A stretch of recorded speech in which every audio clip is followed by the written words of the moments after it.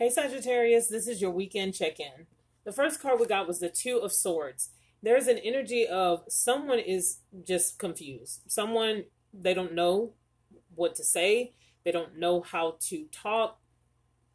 They are kind of all in their head. It was clarified by the Ace of Swords. Someone needs clarity. You may need clarity from someone who's been a little bit like wishy washy. Someone is coming off with the energy of like you don't know how this person feels about you or you don't know what this person is thinking. And so with the ace of swords, it's like you need communication with this person. You need them to talk, you need them to open up, you need them to say something. The next card we got was the 7 of cups. Again, a lot of confusing energy. Someone is like confused on who they want or what they want, or that's the energy that they're bringing. Okay? You may feel like this person doesn't know what they want.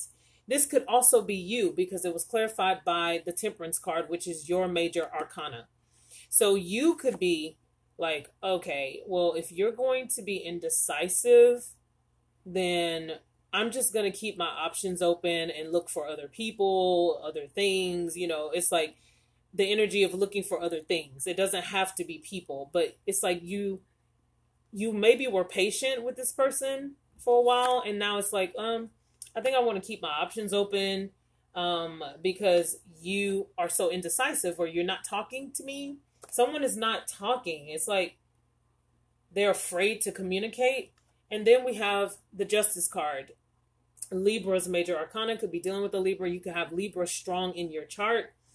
Um so we have the justice card here. It's like someone wants to make things right someone wants to say or tell the truth. Um, but again, High Priestess energy is here. Pisces, Major Arcana.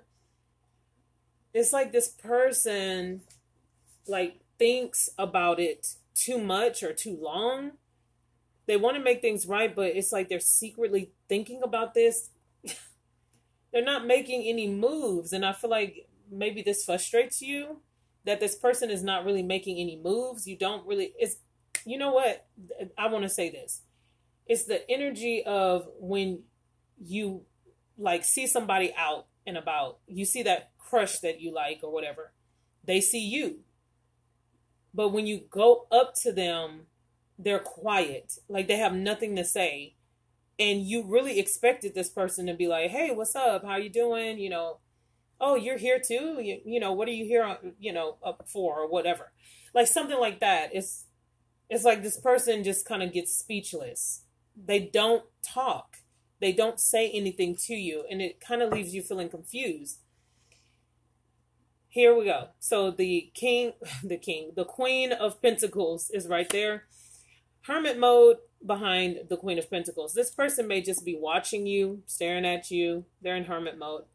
They're sitting up here getting old and tattered and here you are in green, live and vibrant. This person is in gray and darkness. It's like they're just gonna continue to let time go by unless it's almost like they want you to say something first. They want you to make the first move. Maybe they're that nervous. Maybe you make this person super nervous and they want you to be the first one to say something to them to them. The advice card we got was the situation will improve. So whether you, you know, end up talking to this person or you end up, you know, bypassing them and moving on to something else, regardless, the situation will improve. Okay, Sagittarius? Alrighty, you guys, that is your energy for this weekend. Don't forget to like this video, give me a thumbs up. Also, share this video and subscribe to my channel, Sophiamonay Tarot. I look forward to hearing from you. Take care. I will talk to you guys soon. Bye.